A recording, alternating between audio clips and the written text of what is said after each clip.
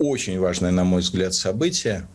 Э, Путин, который мог рассчитывать ну или надеяться, во всяком случае, э, войти в историю как э, человек, ну, слэш-присоединитель Крыма, после воздействия на людей этого фильма, скорее всего, войдет в историю с Ёршиком. Это вот однозначно. Что сказал нам именинник? Вот на прямой вопрос. Он сказал, а, ни мне, ни моим близким родственникам этот дворец не принадлежит и никогда не принадлежал. Парень, тебя об этом спрашивали? Да мы понимаем, что на тебе ничего не записано. И, так сказать, и Сургут нефтегаз на тебе не записан, да, и Кремль на тебе не записан, даже твои костюмы на тебе не записаны. Я уж не говорю про часах, да, про часы. И дворец этот на тебе не записан. Не это у тебя спрашивали. Значит, если ты не отвечаешь на вопрос, что это за дворец, значит, понятно, что тебя поймали на горячем.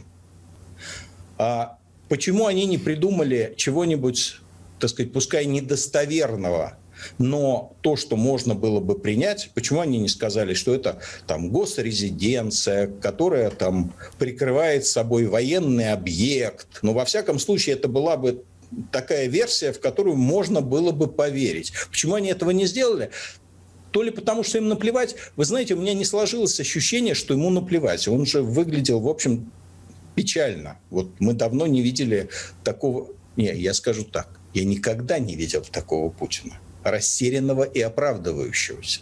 Но э, то есть ему не наплевать. Он понимает, что свое историческое место он обменял на ёршик в сортире.